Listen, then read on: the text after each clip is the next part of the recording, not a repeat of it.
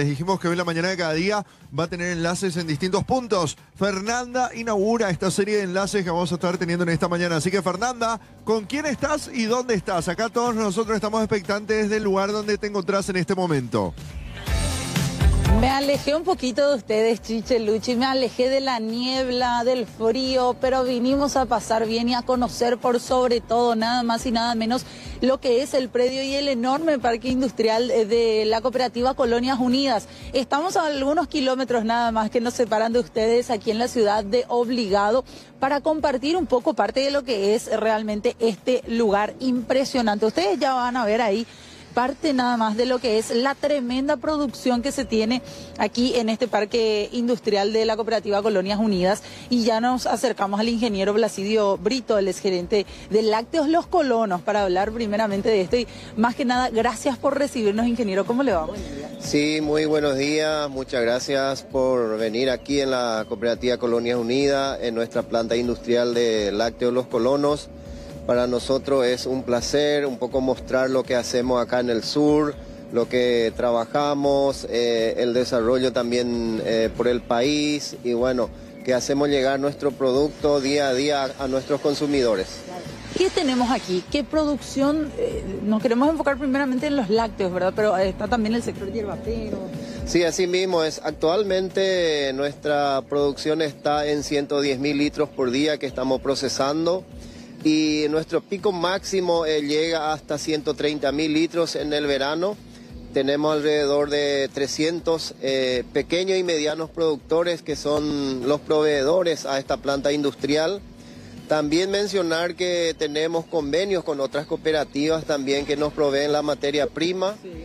Eso día a día hacemos el acopio eh, propio con, la, con los camiones, con nuestra logística de, de camiones de Cooperativa Colonia Unida que, llega a la planta bajo un estricto control eh, de, calidad. Eso un poco nos caracteriza siempre de producir un producto terminado de alta calidad y eso es un poco lo que hacemos llegar con confianza a cada consumidor paraguayo día a día. Ingeniero, estas son, estos son los productos. ¿Qué tipo de productos tienen aquí en Lácteos Los Colonos, en la fábrica y hasta dónde están llegando a día de hoy? Sí, nosotros estamos produciendo en nuestra industria eh, leche fresca y leche UHT el, eh, yogures en diferentes presentaciones, diferentes tipos, sabores, eh, un yogur entero, sin lactosa, descremado, así también leches especiales eh, como fibra, leche crecimiento y, así una gama de productos que realmente vamos innovando permanentemente, lanzando al mercado nuevos productos. Eh, que actualmente hace como un mes hemos lanzado un nuevo producto en el mercado realmente con un éxito total. Es este producto eh, con dos sabores, que es el yogur hiperproteico, que contiene 15 gramos de proteína y sobre todo es sin lactosa, es un yogur bebible y con un éxito total, con, con dos sabores, que es frutos eh, rojos y energy, ¿verdad? Para los, eh, las personas deportistas esto es espectacular, ingeniero. Sí, es un poco para todo lo que eh, practican deportes, que van al gimnasio. Necesitan esa energía. Necesita eh, reponer esa energía después de ese desgaste físico y realmente un éxito total del producto donde vamos a estar degustando después seguramente, ¿verdad? Entonces, eso es un poco lo que hacemos día a día en la planta. ¿Cuáles son los desafíos a día de hoy, ingeniero, de parte de lo que es este tremendo trabajo que realizan ustedes? Bueno, eh, los desafíos que tenemos actualmente es que siga creciendo nuestra cuenca de, producción primaria, eh, necesitamos más leche, eh, se está trabajando en el campo.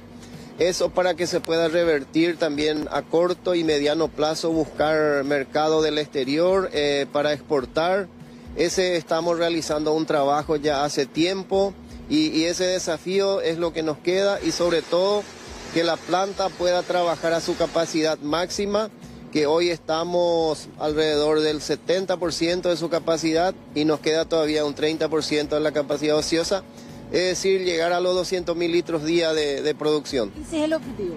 Ese es el objetivo final eh, y, de hecho que después seguramente si hace falta seguir creciendo, proyectando, eh, porque si uno no, no hace inversión, eh, tenemos que innovar y crecer día a día. Ese es un poco el eslogan de la cooperativa. Realmente, felicitaciones ingeniero, gracias por darnos este testimonio también tremendo de lo que es el trabajo, no solamente de tantos productores que trabajan con ustedes, estos más de 300, sino también los cientos de colaboradores aquí, ¿verdad? Así mismo, eh, realmente tenemos a nivel desde el acopio, industria y eh, mercadeo, distribución, eh, más de 350 empleados tenemos en la cadena de, de trabajo. Y bueno, Muchas gracias por venir a, compartir con nosotros aquí en el departamento de Itapúa.